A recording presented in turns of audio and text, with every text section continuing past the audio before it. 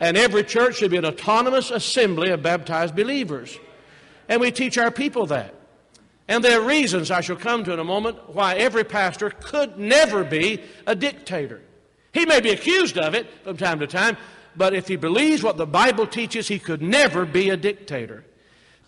And so we don't have to rule over people and run their lives and force anything down their throat. That's not the way God made human beings to be treated. And of all places concerning spiritual things, people ought to learn that in a Baptist church.